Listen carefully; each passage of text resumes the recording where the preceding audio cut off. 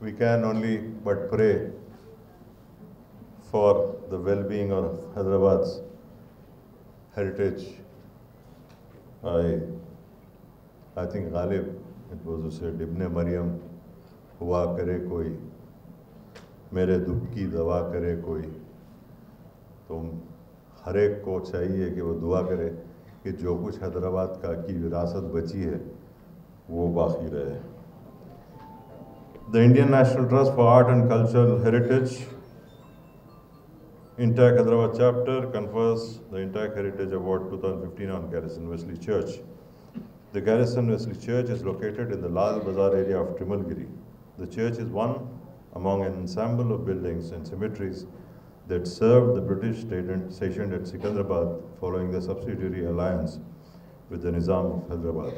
The foundation of the church was laid in 1853 and the structure was completed in 1881 at the initiative of Reverend William Burgess, who moved to Secunderabad from Madras in 1878. The Garrison Wesley Church is a fine specimen of Carpenter Gothic architecture which gained immediate immense popularity in the late 19th century, especially for construction of small churches. The style is notable for its relatively um, unembellished surfaces, bereft of profuse ornamentation, which is a hallmark of monumental Gothic buildings. The architecture of the Wesley Church relies on the use of basic Gothic elements such as pointed arches, flying buttresses, steep gables, and towers to lend grace and majesty to the otherwise unadorned structure.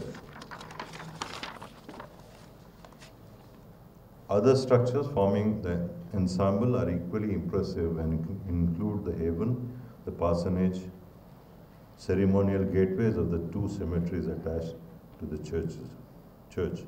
There are numerous finely crafted tombstones and memorials, including a few which are designated as Commonwealth war graves, indicating that some of those martyred in the two great wars are interred here. Within the church itself, one finds a brass plaque which records the tragic death of the wife and son of Reverend Burgess, who were wrecked off the coast of Portugal in 1892. It is said that their luggage included the church bell, which had been cast in England. The belfry of the Garrison Wesley Church has remained without a bell ever since. The church was restored with the use of traditional materials by professionals qualified in conservation of heritage structures and rededicated on 21st December 2014. The painstaking effort in ensuring authentic restoration of this prime example of classical European architecture bears testimony to the sensitivity of its custodians towards the need to preserve our heritage. For its meticulous restoration, the Garrison Wesley Church richly deserves to be acknowledged with an award. I request Reverend Mrs. M. Jyoti John Sundar, Presbyter in charge of